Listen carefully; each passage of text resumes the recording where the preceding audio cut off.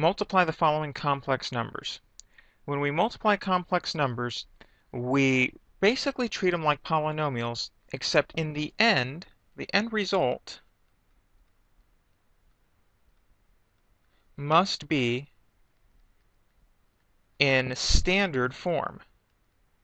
Now the standard form of a complex number is a plus bi. So for example here in exercise A, I have 5 times 2 plus 6i. Just applying the distributive property, that's 10 plus 30i. And that's it. That's all we have to do.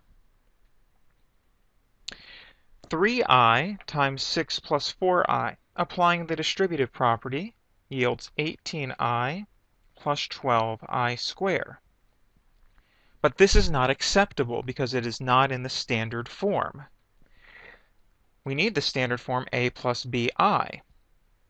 Recalling our basic definition of i, if i is equal to the square root of negative 1, then squaring both sides, i square is equal to negative 1. And that might seem strange, but mathematically it's acceptable.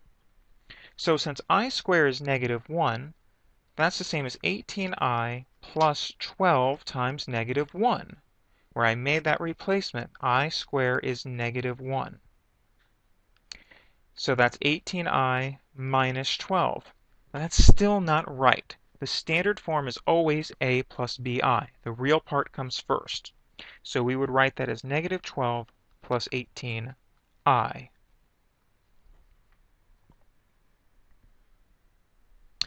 Exercise C asks us to multiply 4 plus 7i by 2 minus 9i. Foiling, which is basically just the, an extended distributive property. 8 minus 36i plus 14i minus 63i square. We have some like terms here. So I have 8 minus 22i and then minus 63i square. Well, now recall, i square is negative 1.